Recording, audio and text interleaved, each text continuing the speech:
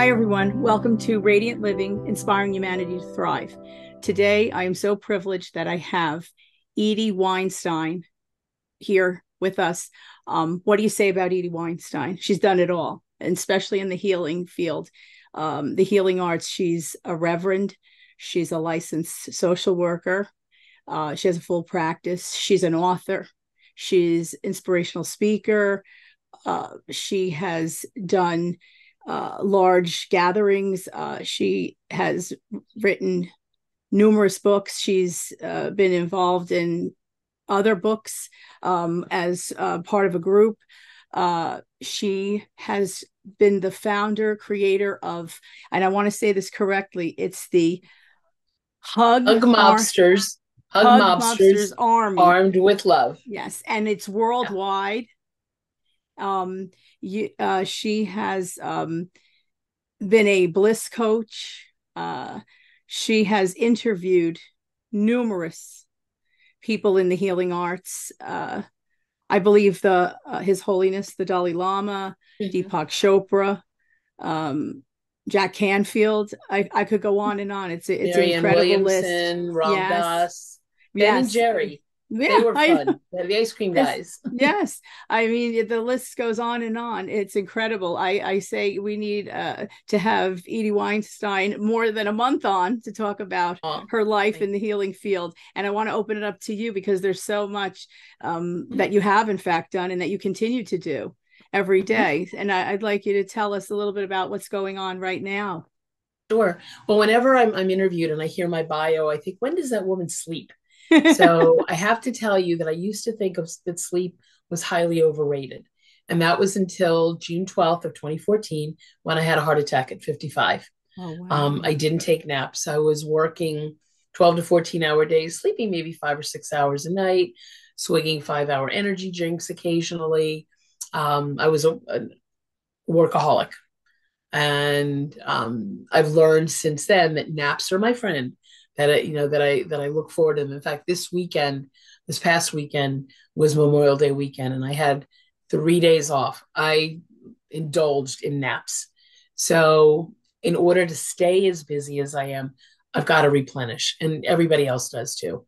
You know, we like to think that we have if we have a passion or purpose for something, we've got to be on all the time. Mm-hmm. You can't be like an engine; you burn out. So the heart attack, we're coming up on my ninth cardioversary and the heart attack was a wake up call.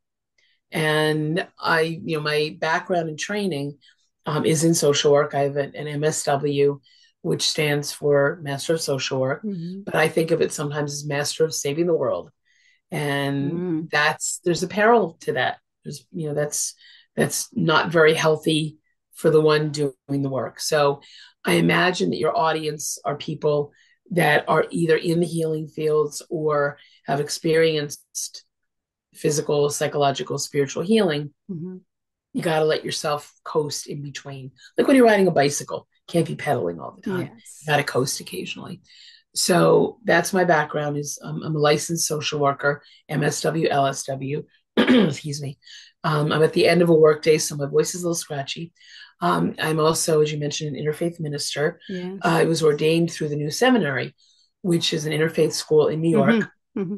1999. so that's part of what I do. I'm a Reiki master. Um, I don't have an actual Reiki pr- practice. I do what I call bliss coaching mm-hmm. to help people live their bliss. Um, the, my first book was called, excuse me, um, The Bliss Mistress Guide to transforming the ordinary into the extraordinary. Mm-hmm. And they're chicken soup for the soul kind of stories. Mm-hmm. So I encourage people every day to live their bliss, you know, and think about what would that be for you? So what it Marisa, what is your bliss? Um, my bliss. I have to say, uh rest and relaxation because I'm also a workaholic and mm-hmm. um, I really very rarely sleep, a few hours a night. So if I can actually, I know if I can actually have a time where I could just kick up my feet and relax for a few minutes, that is bliss for me. So there's always okay. something. Mm-hmm. Okay. So you, I, I, tell people that you know what your bliss is when it gives you the tingles, when it's mm-hmm. um, um, lights lights you up like a human sparkler. when you say, okay, maybe it's not necessarily what I was born to do, but it feels pretty darn good when I do it. And excuse me, my intention is that what I do be of service, that be of benefit to the world. Um, before the call, we were talking about the state of the world. Mm-hmm. And it's scary, it's overwhelming. Um, I grew up, I'm 64, so I grew up during the Vietnam War, the assassinations of JFK, mm. MLK, and RFK um, civil rights movement. It was a pretty intense time in our in our world. Mm-hmm. It feels like it's on steroids right now. Yes. So any opportunity that any of us has to be kind, to do good in the world, to be of service, mm-hmm. to counteract, to light the candle and counteract the darkness, do it. It does. Yes. You don't have to be a professional. You do it by smiling at mm-hmm. people. You do it by opening a door for somebody. You know, you pay it forward so that's part of my passion is um, encouraging people to be fully themselves for themselves but also in service to the to the world. And um, so this the the the hug monsters this is like incredible. I mean it's just it's so wonderful to think. And i know that it was also sometimes not uh, planned. It actually can be spontaneous. spontaneous. Right? So what Hug Mobsters Armed with Love is, give you the background. Excuse me, Valentine's Day weekend of 2014, um, the day after Valentine's Day, the 15th, I brought a group of friends to 30th Street Station, which is a big train station in Philadelphia, near mm-hmm. where I live, for a free hugs flash mob. And at 12 o'clock, we unleashed ourselves on the station and we went around, and there were a dozen of us, asking people if they would like a hug. We didn't grab people. Um, one of our friends, who's a musician, walked around singing the song "Give a Little Bit," you know, the Supertramp mm-hmm. song. Yeah. Um, so we he did that, and we estimate that within the hour's time, we hugged about 200 people, and these were people that had no clue that these crazy people were going to be there. Mm. And I chose that particular day for two reasons. One is that I wanted people to understand that Valentine's Day isn't just one day out of the year, it could be every mm-hmm. day. And it's also not just for romantic partners, love is for everybody. Mm-hmm. So, one of the people that showed up there um, and approached us told us that he was an Iraq war vet and he was the only survivor of his platoon and he had mm-hmm. survivor's guilt and he thought about ending his life. He said, Until I met you people, because you give me hope. Mm-hmm. And of course, tears streaming oh, down. One, yeah. And he said, Can I join you? So naturally, we gave him a sign, free hug sign. Excuse me. And he, he walked around hugging people. And I wish all these years later, I knew how to find him because I would love to see if he has found his purpose, if he's living his bliss, if he's still going around hugging people. Yeah. Um, I may never see him again. So that tells me that we never know the impact that we will have on another human being. Mm-hmm. That's true. You know, just seeing him, it's more than just a story I tell. It's he lives in here. Mm-hmm. Um, so friends started calling us hug mobsters, you know, hug mob, flash mob. Yes. And I said, ooh, mobsters, guns, mafia. Mm-hmm. I don't think so. Mm-hmm. Um, so I added the tagline armed with love. And I I mentioned the uh, the heart attack. That mm-hmm. happened, I think, five or six months, five months, five months afterward. And as part of my cardiac rehab, I walked through Doylestown, Pennsylvania, which is my little town, and I said, why don't I combine the hugging with the walking? Because hugs feel good. They're yes. cardiac friendly. They're also emotionally heart friendly. Mm-hmm. So I organized free hug strolls and I invited friends to come along, and some of them did, and sometimes I just did them by myself.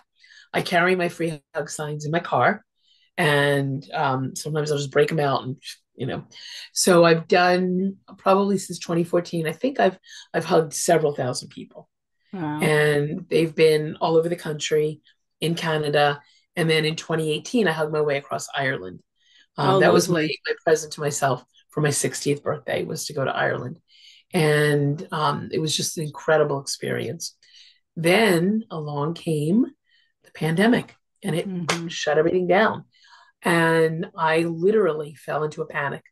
I thought, what if we can never hug again? You know, humans are hardwired for touch. Yes. It's part of our makeup. Um, we have skin hunger. That's mm-hmm. just as important to me as food hunger. And then I thought, okay, how could a loving God or whatever whatever you believe in Mhm. create people who need touch to survive, only to pull it away from us? Mhm. And I said, nope, this is it can't possibly be. So shortly into the pandemic, I had a dream, and I have very vivid dreams. And in it, I dreamed that we could hug back to back or back to front like spooning. And in in my dreams early on in the pandemic, everybody was wearing a mask. So it was pretty, it was pretty, you know, on target with what was going on. So that assured me that we would eventually be able to hug. And um, I live by myself, so there was no other human being around to hug Mm. but me. And I, you know, I venture guess that a lot of your listeners live alone, and they had to deal with the pandemic by themselves. Mhm. Um, so I hugged trees. Um, I hugged stuffed animals, um, pillows, blankets. I kind of wrapped myself up in blankets. And I'm grateful for the modern technology that allows us to be able to at least make eye contact with people, Yes. even if we couldn't touch them. Um, at the time, my my grandson had been born that January, and I say that he was the best thing that happened to our family in 2020. So in the beginning of you know the first few months on the planet, I was there almost every day to help, and then that stopped in mid March. Mhm. So I didn't see them in person for 11 weeks. Wow. And it was so, that was probably the hardest 11 weeks of my life was to be away from my, my son and daughter-in-law and my grandson. Oh. So um, we would do FaceTime. I would make videos for him. And then probably around Mother's Day, I, I went back Mhm. over there and I still couldn't hold him, but at least I could visit. And then gradually we worked our way back toward full physical contact. And I now have, he's now three. I think he turned three in January, and I have a one year old granddaughter. And they Oh, lovely. are they are my joys. They're how I spend my my weekday mornings as I watch them for a few hours and Oh, then come home and do my therapy work. And then the other grandparents and aunt take the next shift. Mhm. So I encourage people if you're still alone, if Mhm. you're still not in physical contact with people, find ways to nurture yourself. And if you are back out in the world and you're not comfortable hugging, you can do virtual hugs, like a, Yes. where you wrap your arms around yourself. Yes. So hug mobsters, you know, it feels like it's my branding that people say, "Oh, you're the Mhm. hug lady," and I didn't create that free hugs movement. Um, it was created by a man, a, gentleman named Juan Mann, um, and I, it's a pseudonym. One Mhm. Man. Yes. I forget what his actual name is, but he was in Australia, and he had just moved there and was really lonely. So he went into a town square, made up a free hug sign. He might even have blindfolded himself the Mhm. first time and held out his arms. 20 minutes went by before someone Before hugged him. anybody, yes. Yeah. And it was an older woman who's, I think her dog had just died. She was very sad. Mhm. So he was tall, she was short, and they met in the middle. Mhm. And then once other people saw this, Yes. you know, act of affection, they joined in. Mhm. So it became a movement. And there are people all over the world doing free hugs. Um, there's another aspect to it that I enjoy.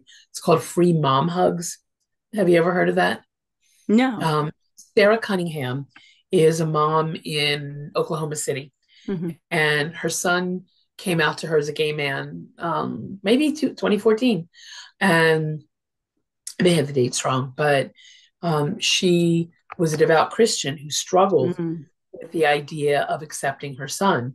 And she said, How are you making me choose between you and my son?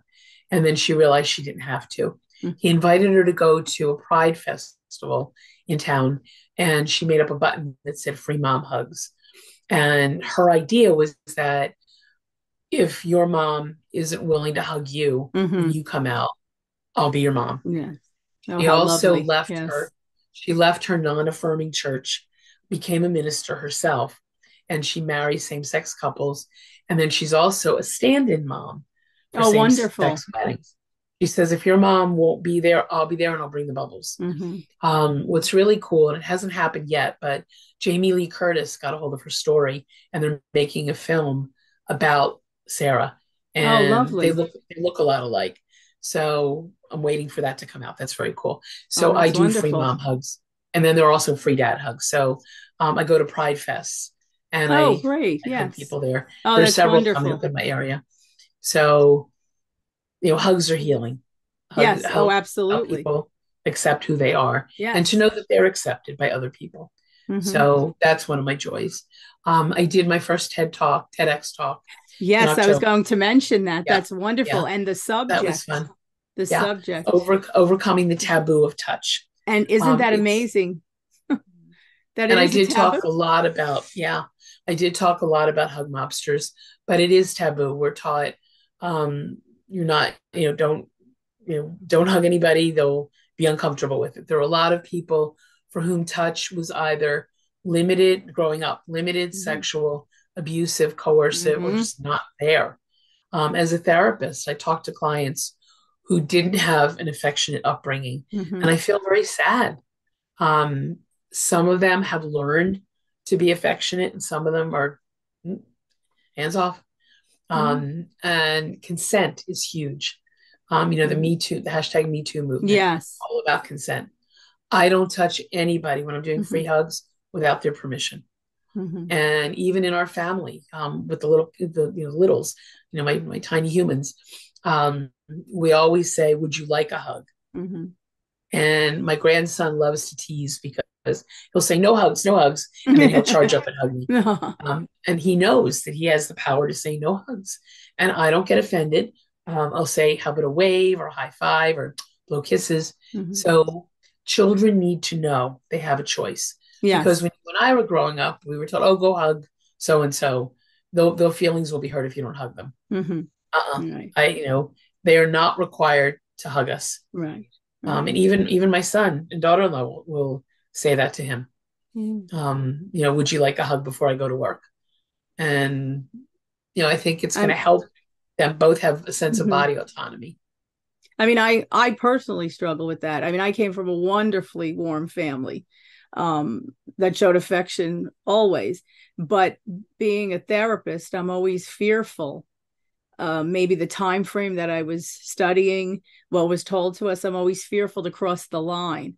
I won't right. even show emotion for them. I would I want to be strong for them, but I can't imagine attempting to break down with them. Mm-hmm. I always mm-hmm. hold back um, and i think that that's my my issue i don't know how i would deal one on one with someone uh, i and it is a struggle because there are times where uh, of course i'm a human being it affects me but i really try not to because i always want to give that professional aspect well, prof- yeah well professional doesn't have to mean distant Mm-hmm. Um, I found, and I've been a therapist in one form or another for 40 years. And what I found is um, you don't have to be you want to model being human mm-hmm.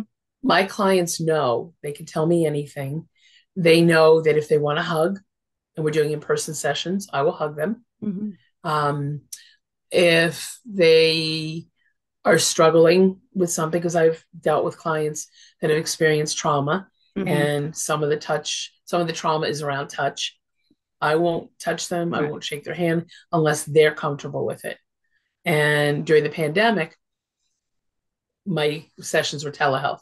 Yes, telehealth. me too. Me um, too. Um, but now we're back in the office mm-hmm. together.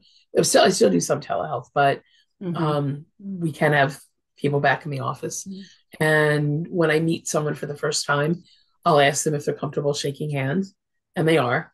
And we have plenty of hand mm-hmm. sanitizer in the office.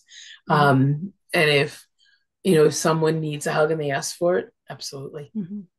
Yeah. Now, this is just a little aside. Did you find that a lot of your clients were fearful going back? Some. I mean, we eased our way back. We wore masks up until mm-hmm.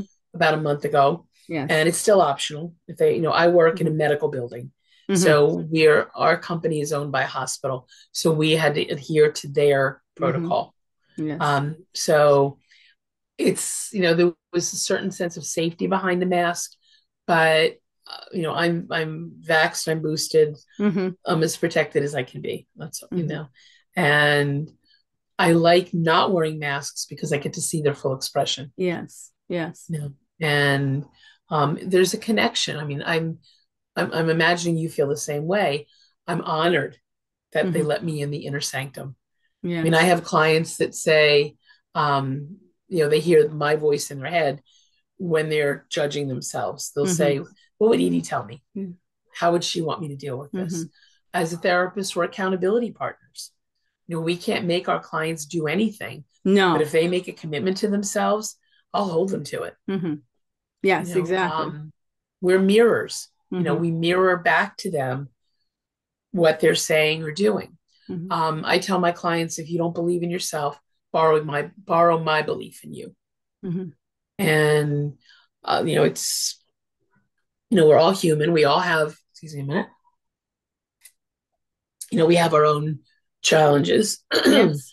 and you know, I, I, think that's an essential part of of being a therapist. Mm-hmm. Know? I will say and, that I found a lot of my clients were way I'm in New York. We're about an hour and a half outside of New York City. Many people ra- raced up here in fear um, because it, it, was very congested in New York City and um, very claustrophobic for them in small um, environments. So they ran out of the cities. And I think that a lot of the clients were very fearful to go back one on one. I still have many telehealth people and um, trying to get them back into the world. Um, but they're still fearful, I think. And yeah. we and still we're we're the same. You know, you can wear a mask if you want. And I always wear one if they wear one. I wear one just right. as a courtesy yeah, in the room. Yeah. Yes. Mm-hmm. So, but I think it's going to be a long road for many. Yep. Yep. And I and um, at first, you know, when we were we were told we needed to do telehealth, I thought, how are we going to connect heart to heart with our clients mm-hmm. if we're looking at them in a little box? But I, I have to tell you, it's um, it's only slightly less intimate than it is in the room with them. Mm-hmm. You know that there's a connection that uh, you know. I thought, how are we going to feel? But they tell me that they, in some some cases, prefer to be home because mm-hmm. it's their safe zone. I like doing telehealth because I'm barefoot. I get to be yeah. barefoot, you know. but it is true that a lot of them that's their protective barrier. Right. And they're comfortable right. there. And so they're happier to stay in their their own environment. Right. Yeah. The other cool thing about it has is that it, changed. It, it has, has changed. right. Yep. Um, you know, I, have written it. I'm also a journalist and I write for various yes. websites, publications, and I've written a lot about, you know, returning back. We can't go back. No. I mean, the world has changed so dramatically. Nothing is ever going to be the same. But I'm hoping that for some people, it's been a valuable lesson in how precious mm-hmm. life is and how valuable our relationships yes. are, and not to take that for granted um, you know, and and you know, I've had couples tell me, and some of them, some my friends, some of them clients mm-hmm. saying that they can't imagine anybody better to quarantine with than their partner, and that's like, oh, some relationships work. Yes, I've had I've had clients that were planning on splitting until the pandemic, and then mm-hmm. they couldn't. You know, um, so some of them, you know, reconnected mm-hmm. because they were stuck in the same yes. environment. Um, so it is it is challenging, and I work with a lot of I work with people in my therapy practice from five years up to senior adults, mm-hmm. and the kids. Some of the kids love being back in school. Some of the kids felt more comfortable being, you know, doing school online. Mm-hmm. Um, so it's an adjustment for them. Yes, it absolutely it absolutely is an adjustment for the kids. And I grew up in the 1960s and 70s, and I think kids have it so much tougher now. Mm-hmm. There, you know, there's so much more pressure than we had. There wasn't oh, the yes. internet. There wasn't cyberbullying. There weren't these, you know, these crazy TikTok challenges. Yeah. Um, you know, it's just so much harder. So oh, I oh, com- and com- oh, completely different, completely different yeah. times, and yeah. and so much more out there, and the technology, of course.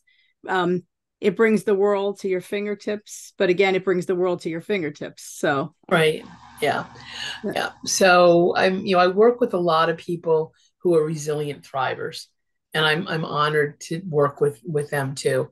Um, now i'm not because i'm licensed in pennsylvania i don't see therapy clients outside of pennsylvania but i do coaching and i differentiate between coaching and therapy where coaching is goal oriented, mm-hmm. working on on a particular project.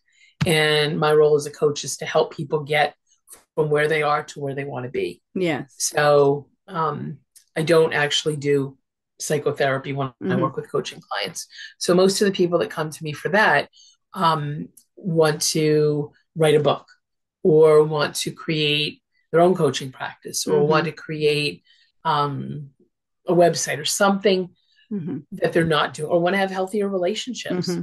or make more money or whatever mm-hmm. it is so we work on that particular goal yes.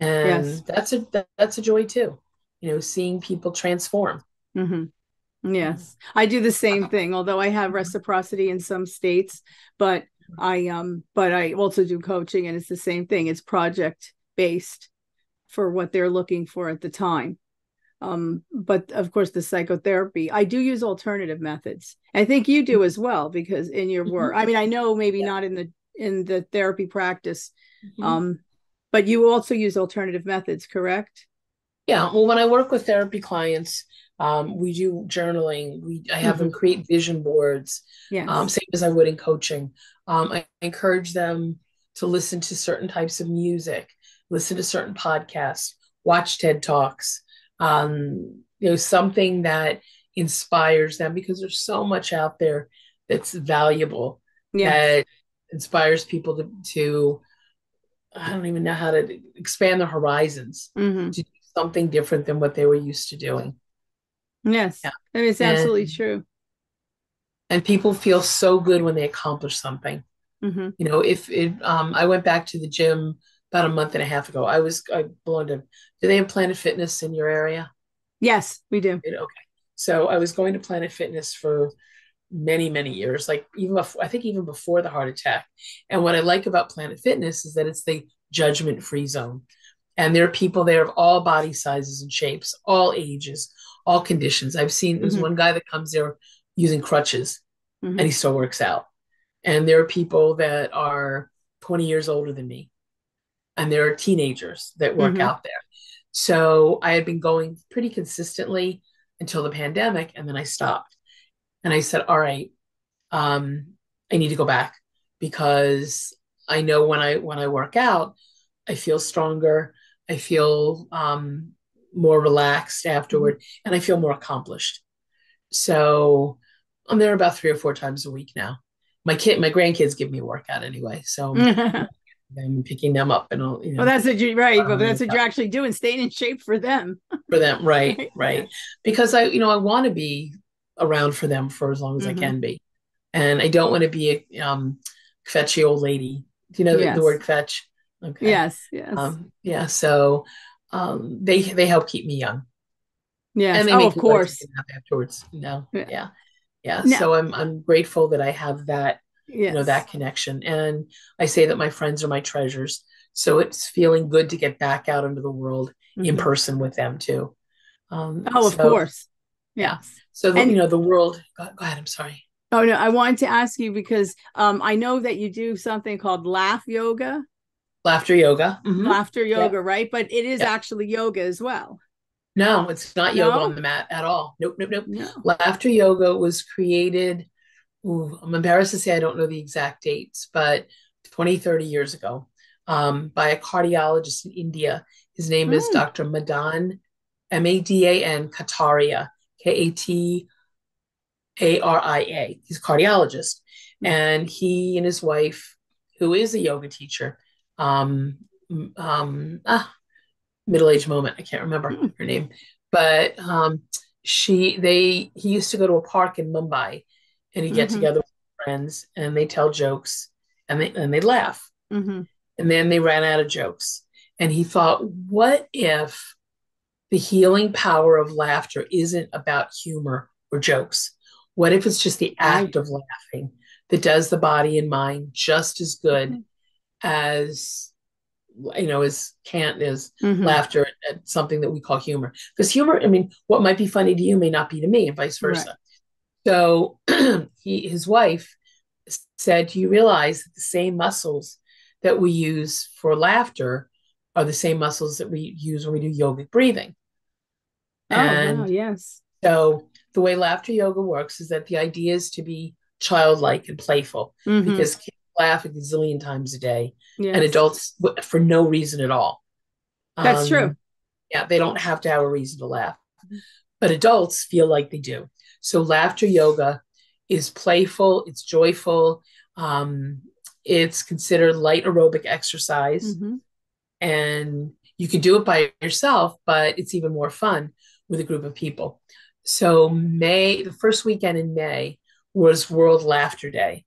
So it was the first gathering in you know in Philadelphia Mhm. since the pandemic that we all got to, you know, our Mm. laughter yoga community got together. So with laughter yoga, you just laugh. So it just goes like this. Oh, and you start laughing. Come on. Yeah, and and you just laugh, and yeah, and it's Wait, true. I'm though. not hearing any do- laughter over there. Yeah, I know, but I yeah, you when you laugh, I mean, but honestly, you are using. You join me? You just oh, everybody just laughs. They just laugh, Right. You just laugh. You just laugh. and you are Then using your next step- diaphragm. Yeah. Yep. Yep. So the next step is what they call the 40 core C O R E exercises. So they're improv exercises where you do them and you laugh. So my favorite is mental floss. Most of us have a lot of judgments and gunk stuck in our brains. Mhm. So mental floss is where you take, like dental floss, you take this Yes. big roll and you pull out the floss Mhm. and then you stick it in your ear. Can you join me? Stick Yes, the metal floss in your ear. Yeah, and you're And you pulling out pull the other out. way. Yeah, and well, yes, and, you're, and think you're about it. laughing. You're cleaning out, and then you're, laughing shaking, and, you're then you shake it out, and you make sure you don't shake it on anybody. So that's one of them. Um, one of the another one is um, looking in the mirror and laughing. Another one is lottery winning, like you win the lottery ticket, Oh, yeah. and then you realize you got one number off, like that. So look up laughter yoga. Oh, um, yes, dot- I'm definitely going to have to dot look org. up. laughteryoga.org. Yoga.org. Yes. La- Laughter yoga. So it's all over the world, on every continent, probably in every country. Thousands and thousands of people are doing laughter yoga.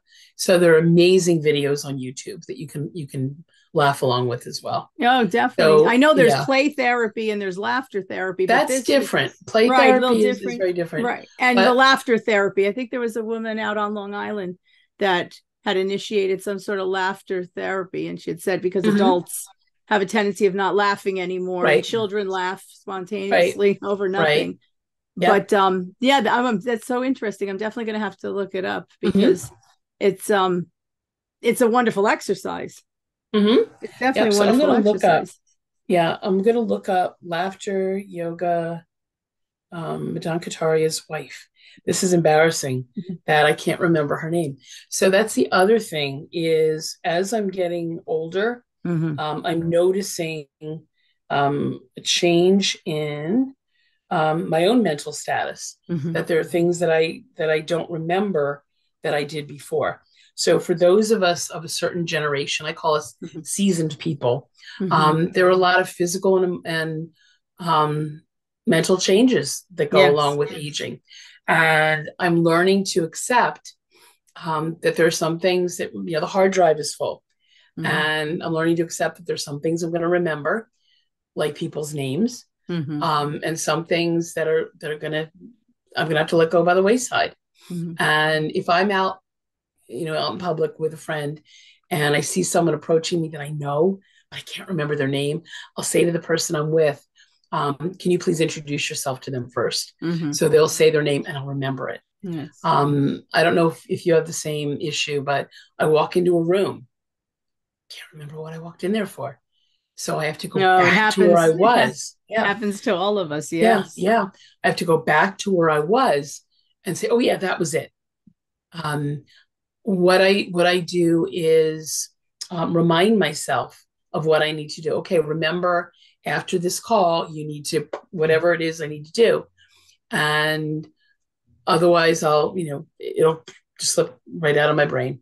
Um, do you struggle I'm with a that? no- I'm a note taker. I'm Yeah. a note taker. Yeah. And Mhm. I do puzzles all the time and I do matching Mhm. all the time to Mhm. constantly keep my memory going. But I Mhm. am definitely a note taker and I rewrite the notes and try to put things to memory that way but of course not like it was years ago mm-hmm. not at all it yeah. happens yep. you know to all of us and uh and just trying to and also trying not to judge mm-hmm. because right even yeah. though you know we're therapists you right. know that, yeah. that, that's the first thing that goes off is the mm-hmm. judging mm-hmm. you know what yeah. why is it happening? And you you know mm-hmm. you just don't want to beat yourself up about right it. right. Right. Okay. So her name is Madhuri. I thought that's Madhuri? Madhuri. M A D H U R I. Madhuri. Madhuri. Oh, um, oh wonderful. so that's the other thing. Google has become my brain. Yes. If I can't remember something, if I'm in the middle of a session with someone mm-hmm. and I'll say, you know, I want you to read this article, then I'll say, wait a minute, I'm going to look it up while we're talking. Mm-hmm. mm-hmm. And um, it's important, you know, it's important as a therapist for me to know stuff, mm-hmm. to be the resource, to have information. Mm-hmm. But you know, the hard drive has gotten full. Mm-hmm. The Rolodex in my brain has gotten full. So I need to rely on other sources. Yes. Um, the other thing that you mentioned just reminded me that as therapists, we need to be compassionate. We need to model self compassion. Yes. That, you know, I, I, like to think that I walk the talk. And I tell my clients, you know, everything I'm suggesting to you, I do it myself. Mm-hmm. I'm the lab setting because I'm not going to recommend that you do something that I haven't done or I'm mm-hmm. not willing to do. So I see myself as, again, accountability partner, mirror, guide, mm-hmm. um, you know, I, I have lots of information, but I can't make anybody do anything. Right. I can't exactly. make them think anything that they're not inclined to think. Can't get them to mm-hmm. take action steps unless they are good and ready. Yeah. And there's a, you know, there's um a sense of surrender that mm-hmm. goes into that. Yes. Um, yes, absolutely. You know, because you can't yeah. force anybody. Can't force yep. anybody to yeah. do anything. Oh no. Yeah. Nope. And as a, a codependent, people pleasing caregiver who practiced savior behavior, wow. I've had to learn what I need to, what I have to surrender with, with mm-hmm. my clients. You know, it's not a failure if our clients don't follow our our sage advice. Mm-hmm. One exercise that I that I do daily that I encourage my clients to do and anybody um, takes place in the shower. So turn the water on, and I say I release anger, fear, mm-hmm. anxiety, guilt, shame, blame, anything, you know, and I do it like a little rap song. Mm-hmm. Um, anything um, that caused me or anybody else pain, anything from the past that I can't go back and change. Mm-hmm. And whatever it is I want to let go of, and I say down the drain. Mm-hmm. Then when I'm soaping up, I'll say, and I call into my life beauty, magic, wonder, bliss, blessings, abundance, mm-hmm. prosperity, health. And I notice an interesting shift the first round, I'm saying it very slowly and like it's dragging me mm-hmm. down. Second round is like popcorn. Mm-hmm. I don't even have to think about it. And by the time I'm done the shower, I'm clean physically, emotionally, mentally, and spiritually. Yes. So I invite you to try that. Oh, um, definitely, um, I'm going to try that. And it's a, it's a good you know a good recharger during the day yeah. if you're starting to drag. Mm-hmm. Um, you know, you think, okay, I need a boost here. So instead of an energy drink, do that exercise. You don't mm-hmm. have to be in the shower to do it. right, do right, it right. You know? Yeah, that's. You can even say, "I'm letting go of fatigue. I'm letting go yes. of feeling feeling drained."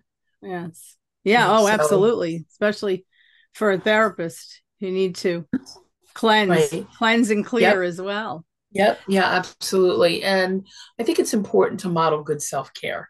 Yes. Um. You know the the whole metaphor of um the oxygen mask.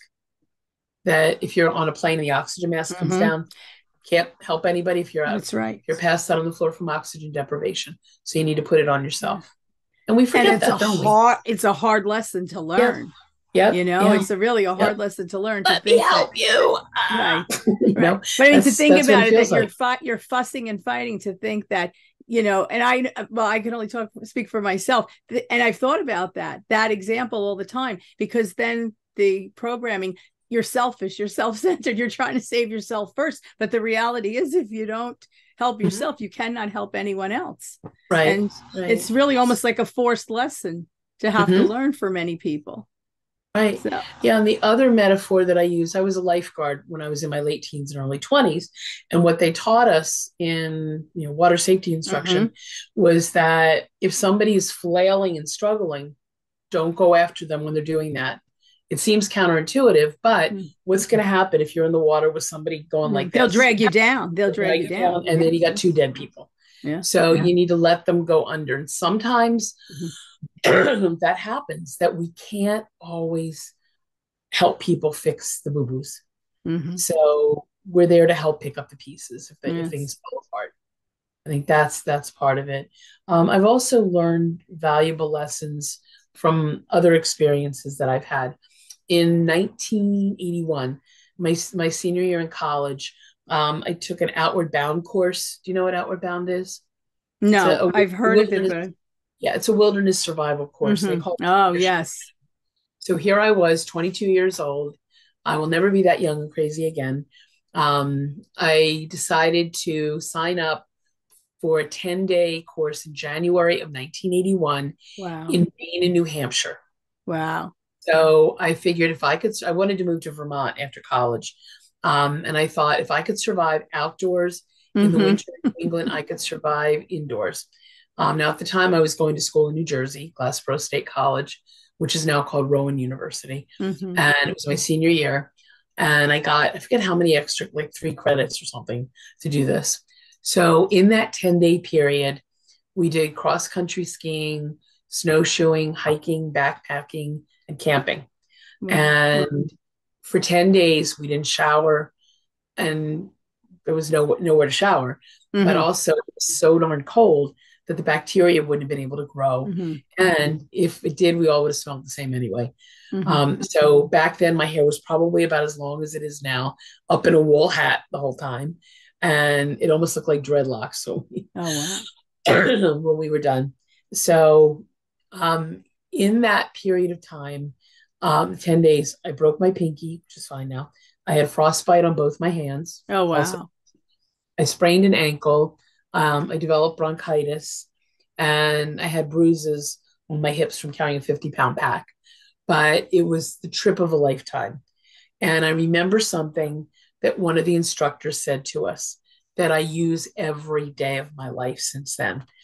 He said, if something isn't going well in your life the way you want it to do, don't complain, make a positive change. Mm-hmm. He said, out here on on you know on the course, mm-hmm. um, if your socks are wet, change your socks mm-hmm. or you'll lose toes. If you're hot, take off a layer of clothes. Mm-hmm. If you're cold, put on a layer of clothes. If you're hungry, eat. If you're tired, sleep. So when I'm disturbed about something, something's bothering me, I'll say, okay, what positive change can you make? Mm-hmm. And it's not spiritual bypass or psychological bypass where you just say, mm-hmm. oh, just ignore it, it'll go away. I take a look at what it is that's bothering me and saying, all right, is there anything you can do about it? If there is, take that next step. Mm-hmm. If there's nothing you can do about it, how can you learn to live with it? Because right, that's exactly. the reality of adulthood right? Mm-hmm. That we have no control over many aspects of our lives, but mm-hmm. what we can control, we're responsible for controlling. Mm-hmm. Exactly. Right? And yeah, and I believe there's a solution to everything, mm-hmm. even if it's not the one that's the most that we want, right? For us, right? Yes. Right? Like that mm-hmm. sucks. Um, my favorite spiritual question is, I, I don't know if you're allowed to say the F word here, but WTF? you know mm-hmm. like why is this happening mm-hmm. what the you know yeah um and sometimes i don't get an answer mm-hmm. at least not right away but i also have experienced what i call if not for so if not for the challenges if not for the heart attack something worse could have happened mm-hmm. um, if not for the heart attack i might not have become um, i you know afterwards i i started educating women about cardiac symptoms mm-hmm. and good heart health. So, if not for that experience, I wouldn't have been able to do that. Um, if not for the heart attack, I might just have done the, the hug mobster stuff casually. There wasn't an mm-hmm. urge to do it until the heart attack. Yes. Um, if not for, I don't know, I'm trying to think what else. Um, just a lot of the things that have happened in my life. Mm-hmm. I wouldn't have, I wouldn't be where I am right now. So I don't believe in blaming the victim like you called this into your life or you made it happen or you know it's it happened. It happens, right. Now what? Now what? What am I gonna do right. about it? Right. No. How do we deal um, with it? How do we overcome it how do we go around it true absolutely right right yeah so a lot of it that's when i say that i practice what i preach Mhm. because i would feel really hypocritical if i didn't do what i suggest that my clients do yes um, but that's of course that's and that's valid Right, right. So that's the vulnerability part that we were talking about a little earlier. That as therapists initially we're taught, oh, can't be vulnerable with your clients, gotta Mhm. be strong. Eh, nope. Um, you know, I disclose what I think would be helpful for them to know, Mhm. um, so they know that I've, you know, that I've been through it. yes Um, I was widowed when I was 40, so I could talk to them about very that. young, yes Um, yeah, I'm an adoptive parent. I could talk to them about that. Um, I'm an adult orphan. Both of my parents have died. Mhm. I could talk about that. Um, what else? Um, you know, the heart, you know, the health Yes. issues. Yes. I can, I, you know, I can explain about that. Codependency. Um, I spent five and a half days in 1993 in an inpatient codependency program because the, you know, the issue of codependency um, is, you know, not knowing where you start and someone else stops. Mhm. Boundaries. I struggled Yes. with boundaries. And my first, after my second day there, one of the women said something that stuck with me. She said, Do you realize you're the sickest one here? I said, What do you mean? wow She said, You think you have it all together, except your husband and your therapist told you you had to be here. She said, Get real, woman. You need this as much as we do. wow So I'm glad there were still another three and a half days Mhm. left of the training. Mhm. I spent another six years going to CODA meetings, Codependence Anonymous, yes yes yes um, so I could deal with those issues. And there was a young man there who kept asking me to be his sponsor. And I Mhm. kept telling him, number one, you need a man for your sponsor. Number two, even though I'm a therapist, I'm still I'm new to recovery. Mhm. And even though it's not a substance, codependence is an insidious addiction Mhm. you know the urge to help people the people pleasing the the Mhm. savior behavior stuff i mentioned and and i said third of all my husband is ill i really don't have the energy to give to anybody so for six years he kept on asking. I kept saying no. Um, the night my husband died he, di- he died of hepatitis c was waiting for a liver transplant. Oh, um, the night he died i came home and the phone rings and it's this young man.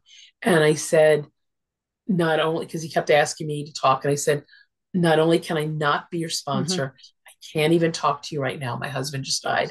And he said but but but and i said but i'm hanging up. And that's when we had wall phones and it made a Mhm. satisfying click when i hung up and there was such a sense of exhilaration Mhm. in the midst of my grief that i said no to somebody. Yes.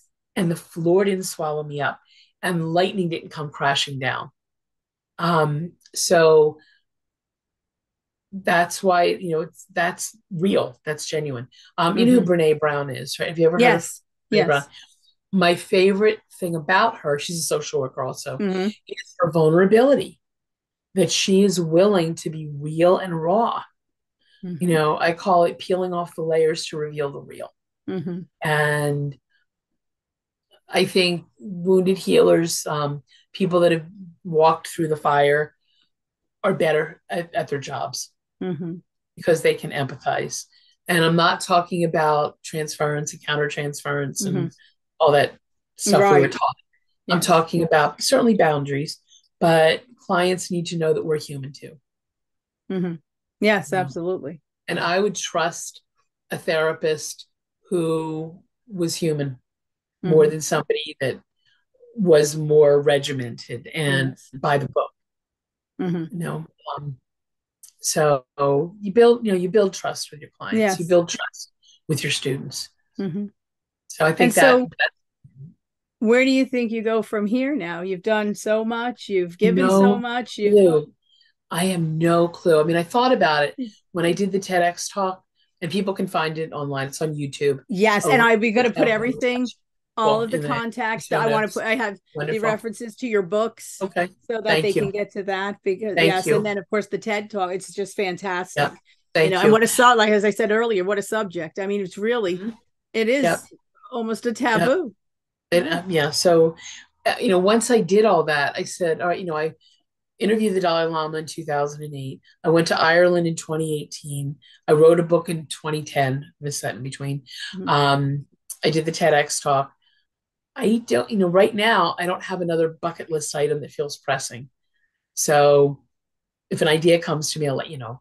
Um, I really don't feel, you know, an, an urge to do something.